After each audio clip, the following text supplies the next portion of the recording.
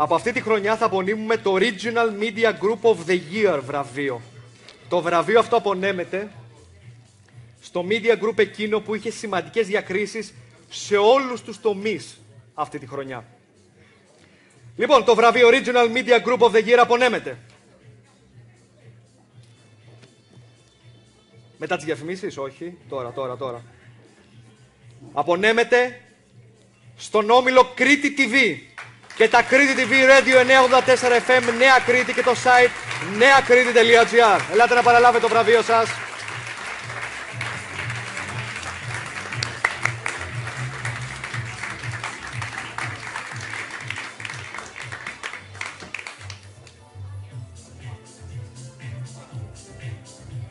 Μια φωτογραφία.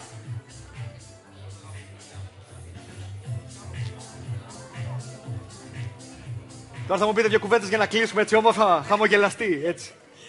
Σας ευχαριστώ πολύ καταρχήν εκ μέρους του ομίλου της ε, Κρήτη TV για αυτή την ιδιαίτερη διάκριση.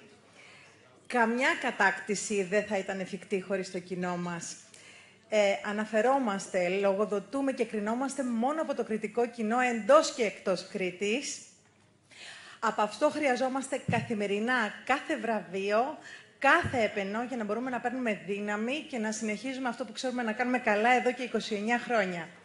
Και ας θυμόμαστε ότι πάνω απ' όλα είναι ο άνθρωπος. Ο άνθρωπος που εμπνεύστηκε, ο άνθρωπος που δημιούργησε, δεν είναι άλλος από τον κύριο Αντώνη Δημητρίου, που μας οδηγεί ακόμα και σήμερα στην ψηφιακή εποχή.